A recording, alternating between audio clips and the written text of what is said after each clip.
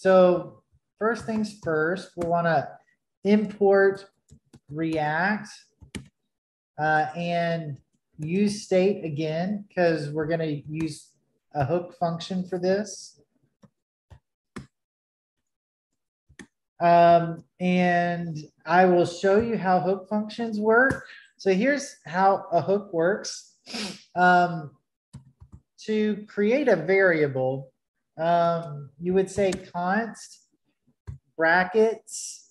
So this is going to be a note taking app. So I'm just going to say all notes. Um, so this is going to be an array that holds all of our note data.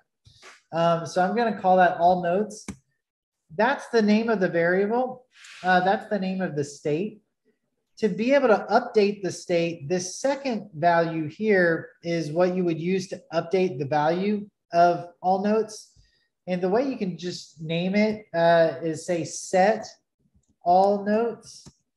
You can just say set whatever you call your variable, and you'll know that that's what you use to update your state. Um, over here, you would say use state.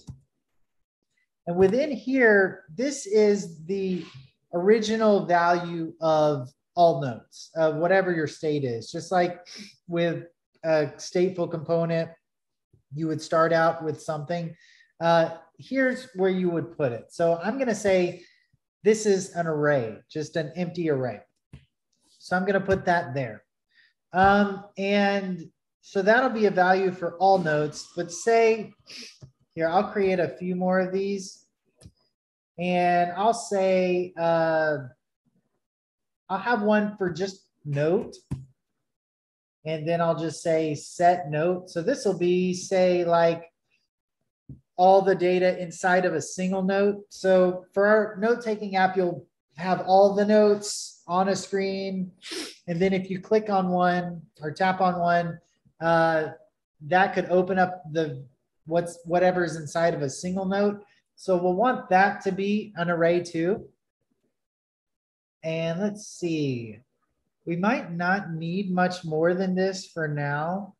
Um, let me think though. Uh, but just as an example, I'll just say, I don't know, uh, note text we probably won't need this, but I'll, I'm just to show you.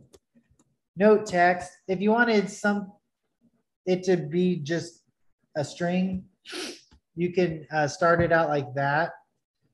And then uh, if you wanted an object, you could start it out as an object.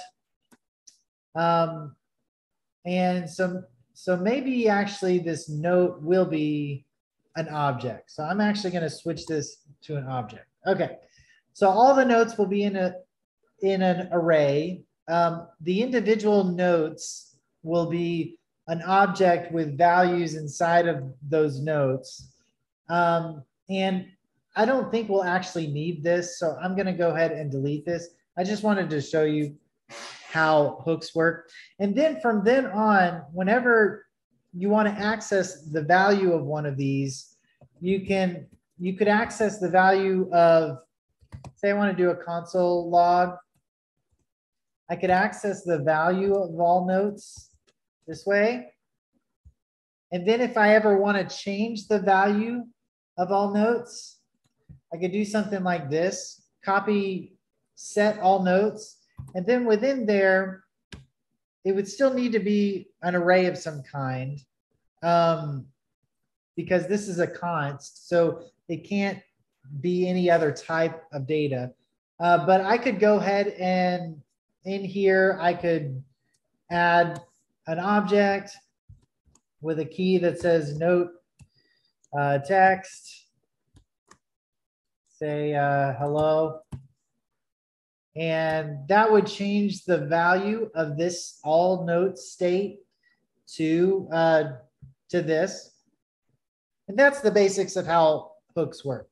So we'll be using hooks a lot in this. So uh, that's just a brief overview so you know what we're doing if you haven't used hooks before. But it's that simple. Again, it's super, super simple. If you like this video, this is part of a much larger tutorial, which can be found right there. You'll like that one. Also, if you are interested in push notifications, nativenotify.com is actually a push notification company. Uh, you can actually have push notifications set up in under a minute using nativenotify.com. This video right here shows you how we did it. Thanks for watching this video. If you like this video, make sure to subscribe, hit the bell icon. We come out with videos all the time. And uh, if you like this video, please like this video. Thanks for watching and I'll see you next time.